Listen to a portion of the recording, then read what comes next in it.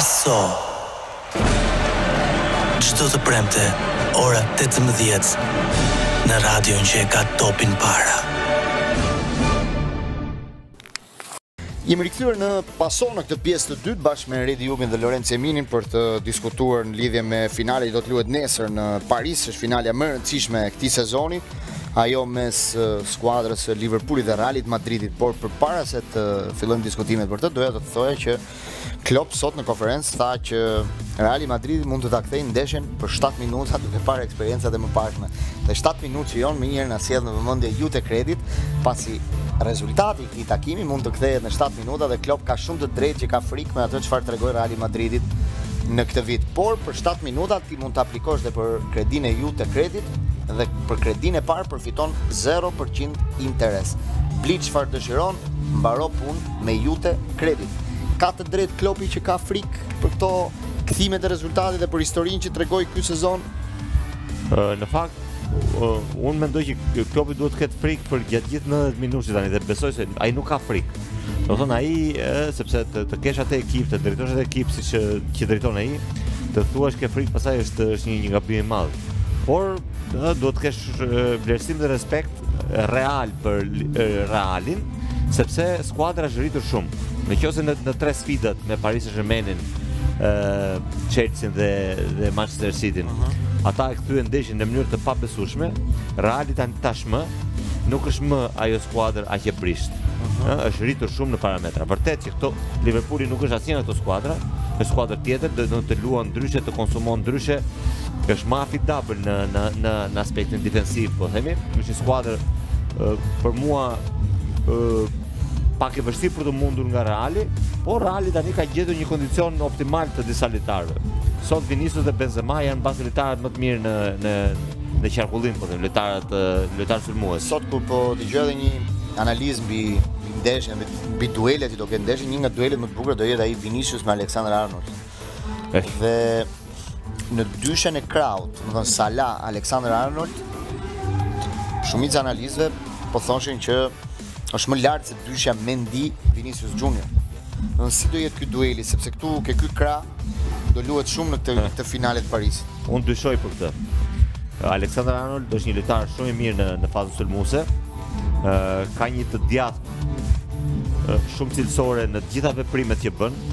Pra në çdo pasim, në çdo krosim, në çdo vertikalizim, në të gjitha edhe në udhëheqje topit është shumë cilësore Alexander Arnold. Kurse fazën sulm, fazën mbrojtëse e ka pasur gjithmonë defektoze, ka përmirësuar diçka, por ka një klient shumë të vështirë, me thënë të drejtën, do të ti e pe me me me City, ëh se çfarë çfarë sioni të madh pat në atë momentin që doli Walker.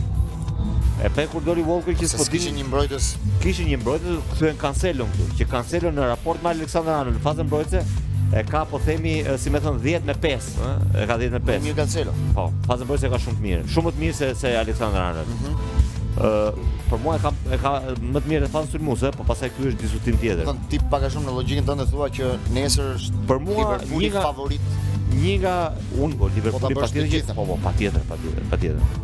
Domethënë nuk është nuk e shikoj aq favorit sa shikoj deri përpara po themi dy javësh. Domethënë do thuash pak a shumë 60 me 40. Po 60 me 40. Kjo është përqindja që që që ndaj ndeshën.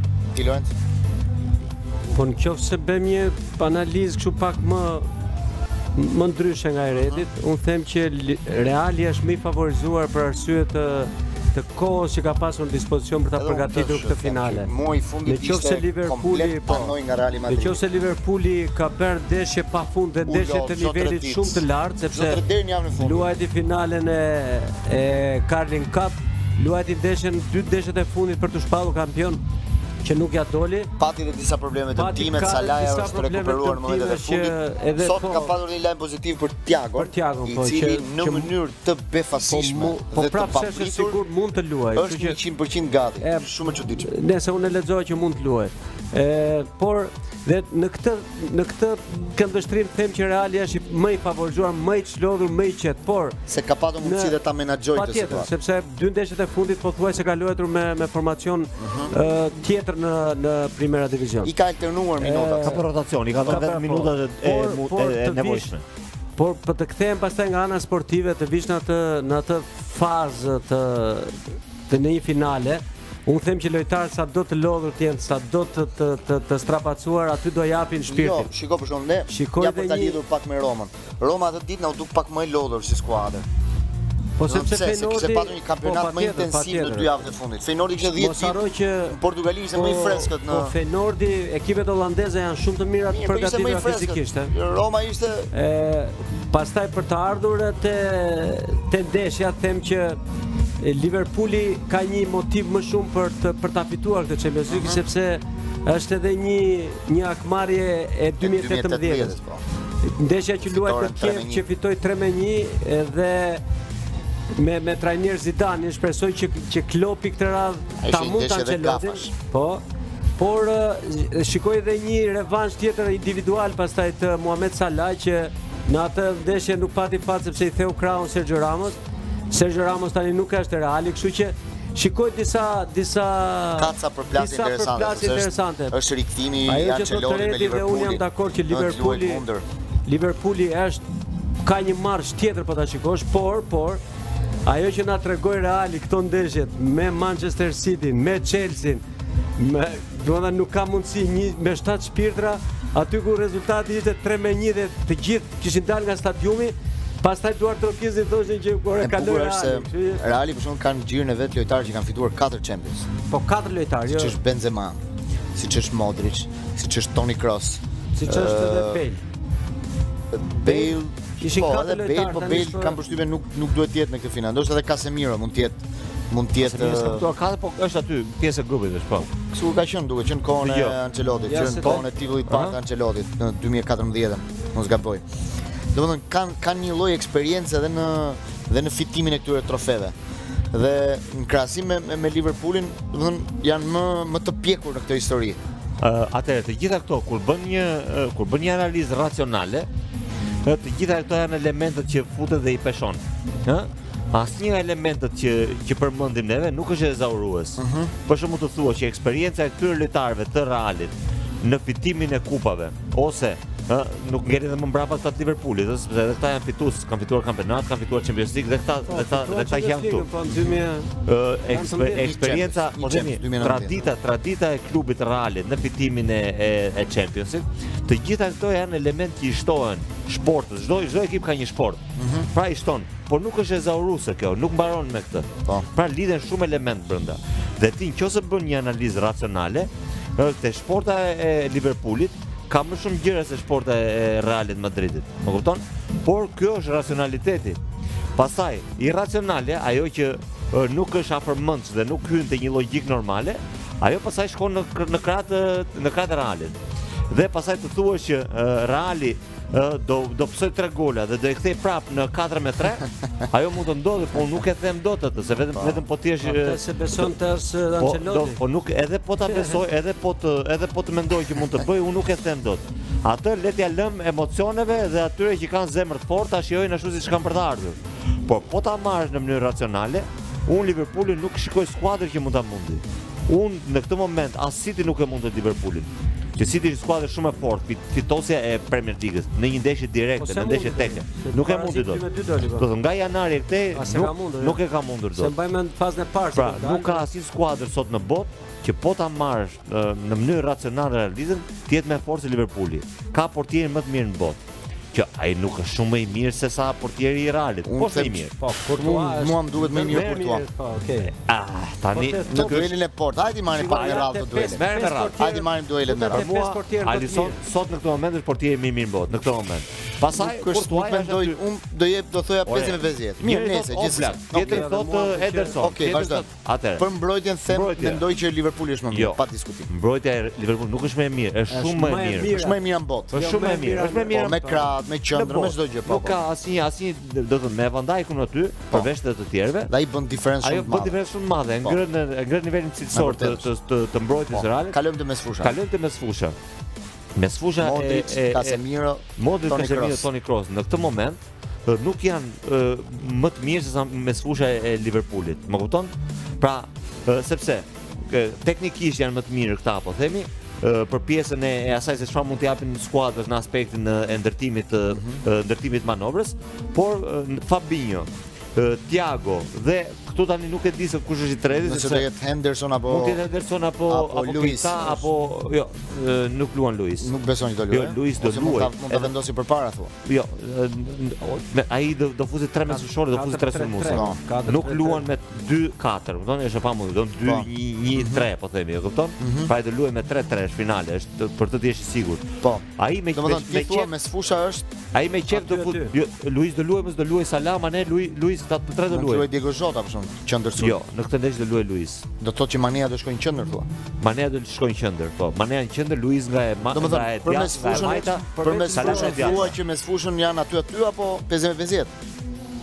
Përpara përpara 6 muajve do shikoja më mirë mesfushën e Realit. Mm -hmm. Në këtë moment janë janë janë shumë afër, janë shumë afër. Fabinho është bërë mesfushor defensiv. Çfarë, rritja e Fabinhos e ka mbyllur atë diferencë që mund të kishin me Casemiro. Po. Pra është një çikë vështirë për mua të them kush është më i mirë nga këta të dy tani. Ëh. Mhm. Thiago, po themi po ta përplasësh me kë do me Modric apo me Toni Kroos, me Modric po them, me Toni Kroos më shumë përplaset. Mm -hmm. Është vështirë të thuash kush është më mirë në këtë moment, ëh. Toni Kroos mua, pra, më pëlqen shumë. Pra, mesfushën e lëmë 50 me 50. E lëmë 50 me 50. Kurse në sulm? Sulmi pasaj, uh, shumë e fortë, shumë e fortë është. Uh, edhe këtu do ta lija prapë barazim uh, situatën. Domethënë, sipas mendimit tënd, diferencën do ta bëjë mbrojtja dhe portieri. Mbrojtja dhe portieri. Unë them që diferencën do ta bëj portieri se unë jam po e lë pak më lart Realin nga sulmi. Ta lë pak më ah, lart. Po e lë pak më lart. Unë them që Vinicius Benzema dhe Losa Rodrigo, Losa po. Rodrigo. Diferencën në tilla nivele do ta bëj Portieri i Realit se dhe unë jam për Courtois dhe trajneri Ancelotti. Është pak më i, te trajneri nuk është se i kësaj i kësaj i këtij kompeticioni se sa Klopp.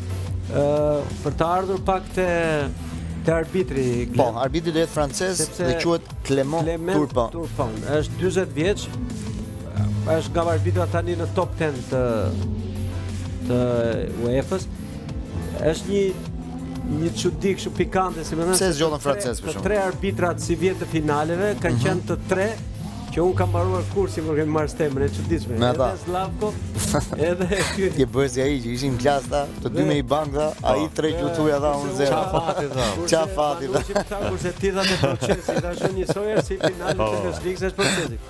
Si ka mundësi më? Ça nxënësi ka qenë ky Turpin, ça nxënësi? Nxënës i mirë ishte.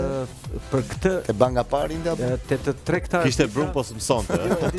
Jo, i zgjuar po me me. Ti çfarë shikoj ti këtë arbitron te të tre. Shikoj që këta kur kanë ardhur, domethënë UEFA ka gati 12-13 vjet që investon te këta. Domethënë, kur ne i kemi parë, unë kam qenë 33 vjeç kur kam marrë stemën, këta kanë qenë nga 25 vjeç.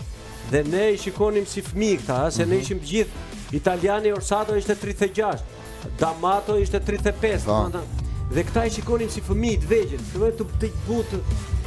Ndërkohë që UEFA strategjia e UEFA-s kjo është që mua më pëlqeu në fakt që zgjodhi këtë arbitër dhe edhe për moshën.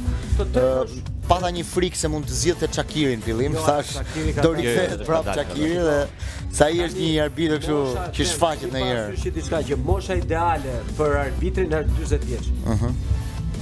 Siç është për për lojtarin 28 vjeç, ishte Turpin ka bërë finale të tjera? Turpin. Jo, jo, Turpin, jo, jo, francezi. E para, domethënë po që bën një finale dhe pastaj aty mbaron. Fillon Conference League. Do të pastaj fillon zbritja. Europa League. Fillon zbritja. Dhe pastaj në shtëpi. Pati një problem. Pati një problem në lidhje me fushën, thonë se si çfarë ka ndodhur në në Stade de France. Stade de France ka bërë bën një program të të vitit. Dhe aty në këtë periudhë ata nuk e prisnin që do merrnin finalen e Champions sepse ajo ishte në Shën Pjetërburg, po u ndrua po, për shkak të luftës. Ndrua për arsye të luftës. Dhe vetëm para pak ditëve aty ka patur koncert dhe gjithë bari ka qenë i hequr. Po. Dhe ishte planifikuar që bari do vendosej gjatë këtyre ditëve për të qenë gati për ndeshjet e kombëtares Francës brenda 10 ditësh do ta merrte veten në shtrim. Po. Dhe ka një merak për nesër sepse bari është shtruar vetëm dje. Po. Dhe për si do jetë fusha nesër. Domethënë do ta marri veten dot bari në këto dy ditë ndërkohë që ata jo, kishin planifikuar që ishte 10 ditë. Po fal Redi për barin të pyesin këto. Kjo ishte një situatë të stadiumit tonë se këta janë se kanë një vit që pak e çuditshme që që ndodhi. Tre vjet që merren me barin. E kanë hequr një tre katër herë. Një situatë pak e çuditshme të cilin anglezët e kishin pak shqetësim, unë s'e dija dhe më duket e çuditshme. Dje, domethënë sot në një të natës ka mbaruar gjithë procesi i shtrimit të fushës. Ne kemi bërë një ndeshje në Amerikë me kombëtaren, mhm. e bëmë në San Diego, luajtëm me Meksikën. Mhm. Dhe shkuam të lodhur atje dhe bëm Kuadrat po vetëm. Po. Ka qenë Mirel Josa trajner, mm -hmm. Sul Demollari nuk ishte. Bëm kuadrat dhe të nesërmen ata kishin hequr pjesën e barit ku kishim bërë ne ato dy kuadratet. Uh -huh. I kishin hequr, i kishin zëvendësuar gjithë dhe kishin vënë bar tjetër, kupton? Po, që unë, unë e dallova shumë, shumë, shumë me vështirësi. Por, i gjithë tapeti do të vihet një ditë përpara Dy ditë përpara. Dy ditë përpara. Ndoshta janë teknika që ajo vihet se nuk ka nevojë që të të Atje sot në fushë gjatë me... stërvitjes që bëri Real Madridi sot dukeshin ato pjesët që vijat e fushës që nuk ishin nuk ishin të koordinuar apo ndoshta deri nesër do të kenë mundësi dhe t'i koordinojnë ta ta zbusin pak ato. Pastaj në të tilla nivele vlen këta shikojnë edhe fijen dhe fijen e barit, ha? Patjetër, patjetër. Nuk... Sot Parisi ishte një kishte një tjetër pamje, atje po. është e zakonshme, domethënë Champions League është maksimumi, nëse ne pamë Po, një gjë të vogël në Tiranë, atje është 10 fish më shumë, plus që është dhe një qytet shumë më i madh, shumë i bukur, domethënë, s'diskutohet që në çdo aspekt. Sot tani sapo ka mbaruar konferencën e shtypit eh, Ancelotti, i cili ka deklaruar se nuk jam i preokupuar si në Lisbon, pra jam më pak i preokupuar në këtë finale. Ndërsa Klopi në fjalët e tij ka thënë që historinë e Real Madridit nuk e blejmë dot me para. Kjo është fjalia që ai ka thënë. Ne do bëjmë një shkëputje të vogël tani dhe do rikthehemi për pjesën tonë të fundit pas pak minutash. Jemi rikthyer në këtë pjesë të fundit të paso për të diskutuar në lidhje me me këtë parashikimin e finales së Champions League-s në në ditën e nesërme, si e Parashikoni pak a shumë. Fredi u nuhat pak nga Liverpooli. Unë si nga Real Madrid. Unë thashë, unë eci me me me racionalen dhe them që në Liverpooli në gjatë sepse nuk e them që mund të shkojë edhe 90 minuta, mund të shkojë edhe më tepër, nuk e di. Por 90 minuta e fundit, po që mund të shkojnë edhe 120 që të ndeshja të shkojë me po, shtesë. Por në në Në total, domethënë, mendoj që Liverpooli do, do arrijë të, të ngrejë lart trofeun. Të, të, të fitojë trofeun. Lorenc, ti? Unë e shikoj barazim në 90 minuta. Barazim. barazim. Me gola lart, eh? Sot është një darkë shumë interesante në Paris, sepse e organizuar nga presidenti i Paris Saint-Germainit, Al Khelaifi, i cili është anëtar i komitetit të UEFA-s, komitetit ekzekutiv të UEFA-s.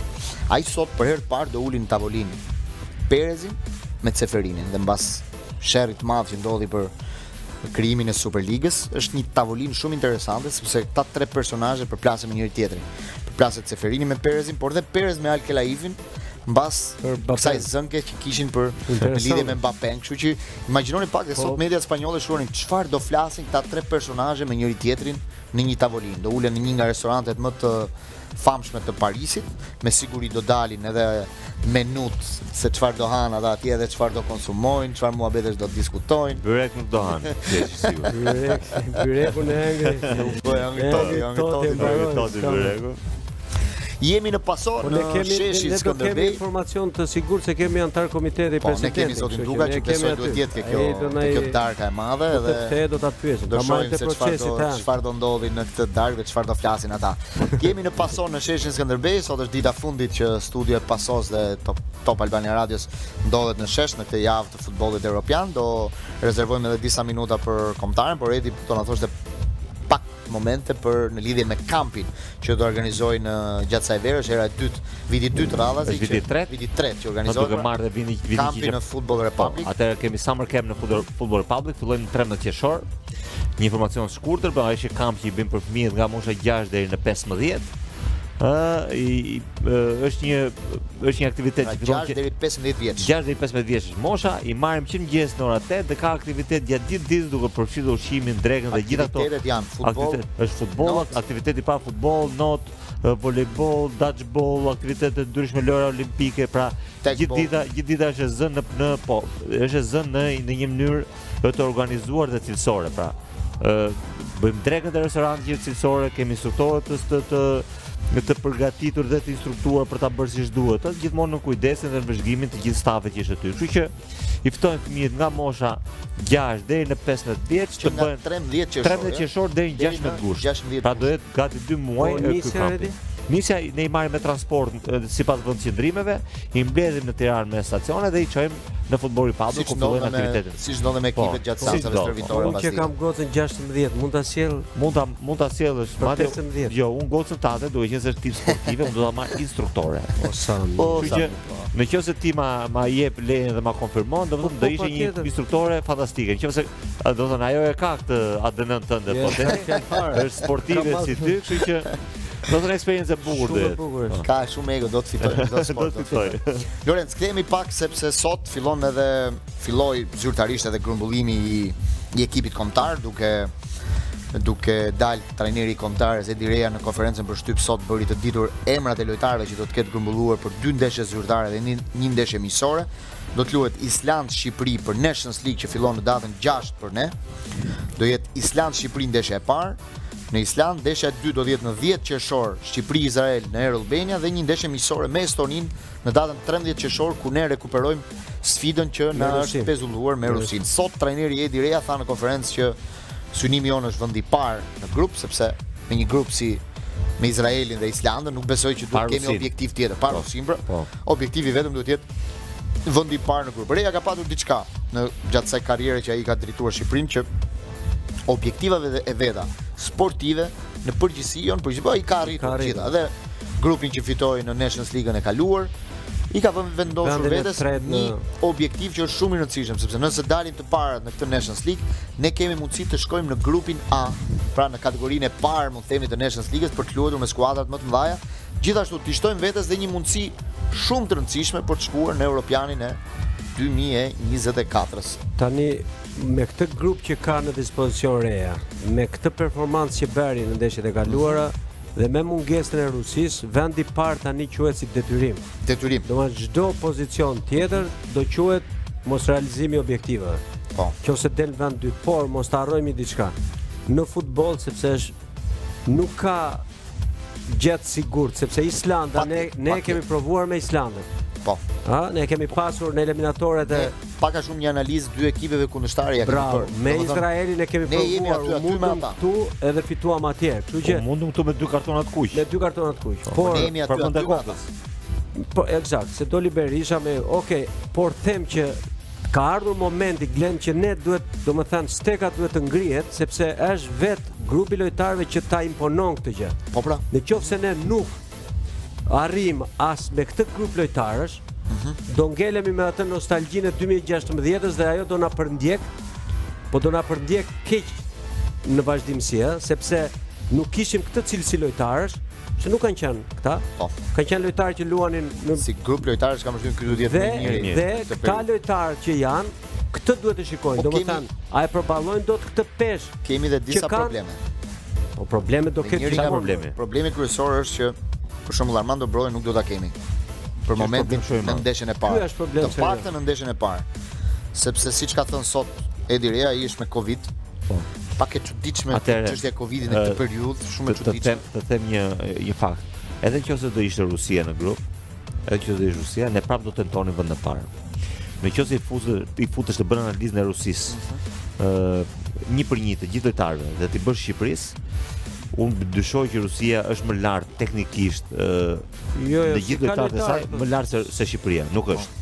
Pjesën dërrmuese e kanë ne kemi, ne kemi. Unë e kam thënë por po përsëris. Dy portierë niveli shumë të mirë. Njëri që është titullar me Lazio, tjetri ka luajtur titullar me Torinon. Po. Në ndeshje të rëndësishme ka luajtur. Jo, një portier. Po fal, tani tani rinovoi me po, Torinon e largua portierin. Një portier shumë i vlerësuar në gjitha ndeshjet, në po. gjitha ndeshjet. Kemi në mbrojtje kemi një lojtar që është fituesi i Conference League-s, një tjetër që është lojtar stabil nga mbrojtësit më të mirë në Itali, Gjimshiti i Atalantës mm -hmm. dhe Ismajli, lojtar titullar që ka bërë 50 ndeshje në sezon si titullar po, me, me ekipin e tij në në, në Serie A. Po, që Na është shtuar në mesfushë, aty që kishim problem, na është shtuar Asllani. Asllani që është lojtar shumë i rëndësishëm. Po, nuk nuk u futa, u futa te treshja e ah, mbrojtjes. Atëherë, kemi Asllanin tashmë dhe Balliun që janë dy lojtarë, këtë Hysën dhe Balliun në krah, që janë dy lojtarë që afidabël po themi, po. sidomos Balliu, sepse Hysaj ka pasur ato problemet e tij gjatë kësaj periudhe, sidomos me ekipin kombëtar se ai në rregull është. Dhe në mesfushë një dozë të madhe optimizmi na e ka shtuar përfshirja e Asllanit. Po. Ë përfshirja e tij te ekipi i tij si titullar, grumbullim. Luajti si titullar me me një me një performancë shumë të mirë në ndeshjen e fundit me ekipin kombëtar. Vjen vjen në kombëtare në një situatë, vjen në situatë në të cilën ai lakohet për të shkuar te Milani, te Milani ose te Interi, në një nivel jo? Pra që po kërkohet nga këto po. i vlerësuar shumë në madje unë ia thashë që unë nuk e pashë aq sa e po e vlerësojnë. Shpresoj shumë që të më Të konfirmohet ajo që ata thonë sepse është ai që na mungon në në në po themi në puzzle-in e në, në në formimin e ekipit tonë. Dhe pastaj në sulm kemi shumë zgjidhje. Ë uh, kemi Brojën që shpresojmë të kthehet shpejt, të bëhet mirë me shëndet. Ne kemi Uzunin që është shumë mirë, uh, kemi Manajn, uh, kemi uh, Cikalleshin. Cikalleshin, po shumë po, që e përmende. Ka mundësi që të të të të është Vrioni, është... Në këtë grumbullim, trajneri ka marrë Myrto Uzunin, Taulant Seferi, Seferi. Po, po. që doli i dyti, po. i treti është Armando Broja, që është në listë, po nesër po. ndeshjen e parë do të mungojë, Sokol Cikalleshi, Giacomo Vrioni dhe Bekim Balaj. Dhe Bekim Balaj. Ka bërë 6 sulmues. Tani kemi 5 sepse Broja nuk do të jetë. Ka bërë dhe një listë pritje trajneri që është lista e pritjes është Lorenz Trashi, Albi Doka, Ernest Muçi, Lindon Selahi, po. Enis Çokaj, ka qenë gjithë Adrian Bajrami, Arlind Ajeti, Jon Mersinaj, po. janë disa futbollistë që pra, kanë lënë listë. Janë janë gjithë, pra, që mund të afrohen. Neve po ta marrësh, siç bëmë atë krahasimin Liverpool Real, po themi po të marrësh lojtarët tanë, edhe me Rusinë ne jemi më lart për për nivelin e lojtarëve individualisht. Mm -hmm. Pra ka ardhur momenti që neve edhe Rusinë tani s nuk duhet ta diskutojmë. Thjesht është emri që të emri. Jo, jo nuk duhet ta diskutojmë, ne duhet ta vëmë si objektiv se ti po, mund ta humbësh ndeshjen. Emri i Rusisë pra, është bën një ndeshje, bën një ndeshje tek po themi në cilën humb me një barazim atje e mbaron punën nuk ashtu. Ajo që më vjen keq pak në këtë situatë është një Nations League që sapo fillon dhe kupton është po që është e fundi i kampionatit, të gjithë kampionatet, po, po, lojtarët vijnë, pra, dhe pak të lodhur, po, për gjithë, për gjithë, dakor. vijnë dhe pak të lodhur, do ne duhet të fillojmë një edicion që është shumë i rëndësishëm për ne këto po. ndeshjet e para gjithmonë janë po. të rëndësishme. Dhe nuk po e shijojmë dot Brojën në kombëtare asnjëherë. Domethënë gjithmonë është një moment që o nuk e fut trajneri, o është i dëmtuar, o duhet të ikte siç ndodhi në me Gjeorgjinë, ose tani e zë Covidi në pjesën më të rëndësishme që fillojmë një sezon. A të shpreh në këtë gjë çfarë po ndodh me Redi e di që në sport nuk e shijojmë edhe pak Pak. Po pra po, po nuk po e shijojmë në kombëtare. Tani ka kohë ai për ta për ti. Ai ndoshta edhe në këtë moment nuk ishte në momentin e vet më të mirë, se ka disa ndeshje radhazi që janë rreth 2-3 muaj që ai nuk po shënon po. gol. Edhe aktivizimet i ka pas jo shumë të plota dhe jo konstante në në skuadrën e Southamptonit. Tani do ikë nga Southampton, do kthehet prapë tek Chelsea, aty vjen një pronar i ri dhe nuk dihet çfarë planesh ka me gjithsesi ai është ai është ai është një lojtar i cili edhe gjatë 90 minutave nuk është se ka vazhdimësi. Pra ai lojtar që luan me momente. Kjo është çështja e parë që do të diskutoj. Ama në momente të caktuara mhm. është vrasës, domethënë, nuk e kap dot, domethënë, në një kundër njësh, uh, unë e pashë në ndeshje me uh, në ndeshjen e rëndësishme me me Liverpoolin mos gaboj, me Liverpoolin, ë, në cilën me Liverpoolin ishte një ndeshje edhe Manchester City, edhe Manchester City, edhe Manchester City, edhe United. Pra në të cilat ai mbrojtësin kundërshtar kushdo mbrojtës, sado i fortë të jetë mbrojtësi, domethënë ai e kalon sa herë t'i mbushet mendja për ta kaluar, domethënë. E katër. Kjo është shumë e rëndësishme. Mbrojtës, mbrojtës, e. Mbrojtës, jo. po më të mirë bot më. E katër. Ai mbase nuk e ka vazhdimsinë, po, nuk e ka vazhdimsinë gjatë 90 minutave që të bjerë në kontakt shpesh me topin, po themi. Ta bëjë fazën mbrojtëse me me vazhdimsi dhe me konsistencë, po themi, të jetë pikë referimi për ekipin në në në të gjithë gjatë gjatë 90 minutave, kështu që në këtë aspekt mos aktivizimi i shumë i rregullt ë, deri diku mund të ndikojë, por jo se mund të ndikojë totalisht. Ai ka motive edhe më tepër për të për t'u shfaqur. Unë shpresoj që ta kemi në ndeshjen e dytë.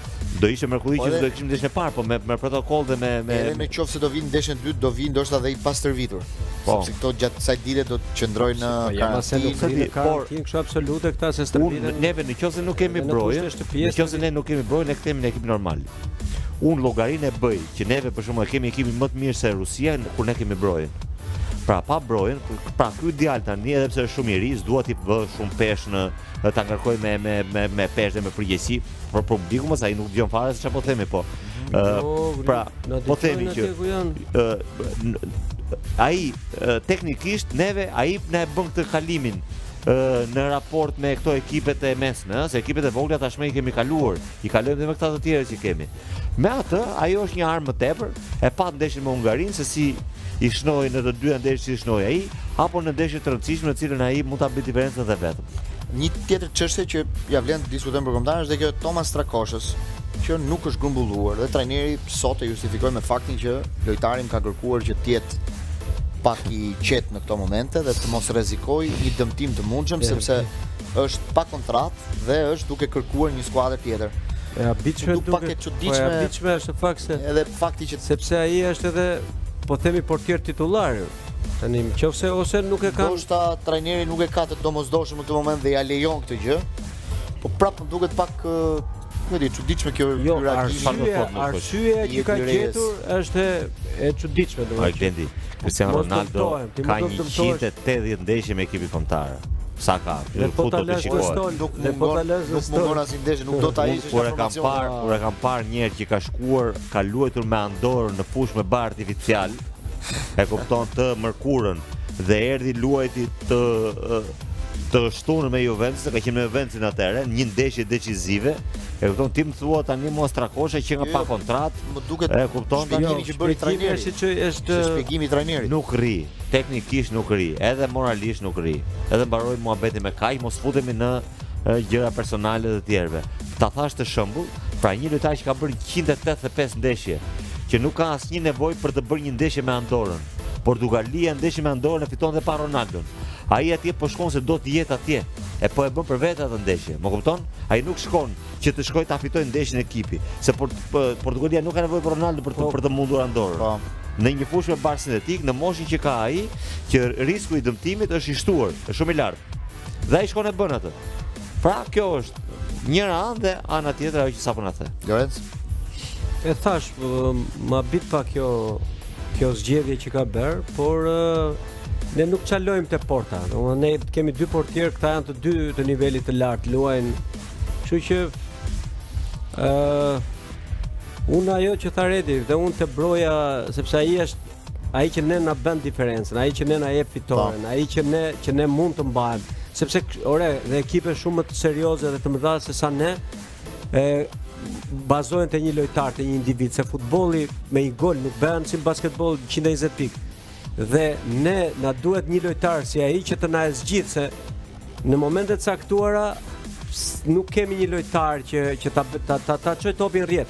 Edhe me ato mënyra që kritikuan Brojën kur bëri golin këtu me Hungarinë që mori pasin gabim e udhëhoqi gabim nuk e pasoi, por ai e bëri gol, ëh.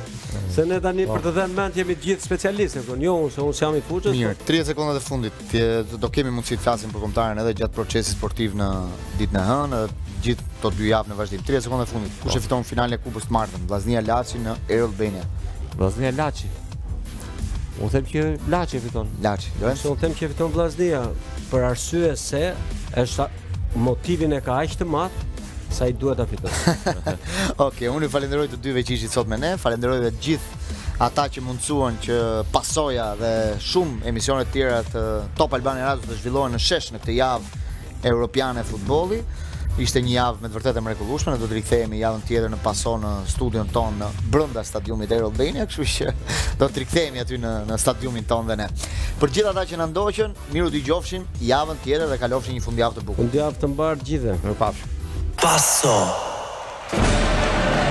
Çdo të premte, ora tetëmbëdhjetë, në radion që e ka topin para.